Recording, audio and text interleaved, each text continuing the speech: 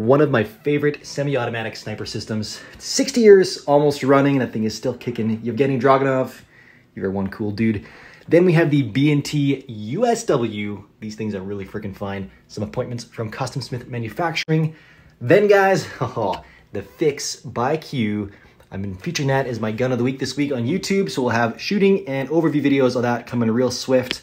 We then have my SR25. I'm missing my mag. I think I swiped my mag for the Fix though.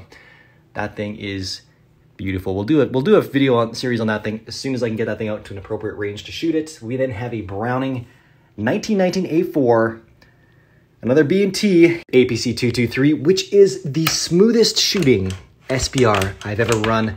If you guys never buy one, just handle one sometime and run that action. It'll blow your mind. Then we have the Mod Deuce and the Yugo underfolder.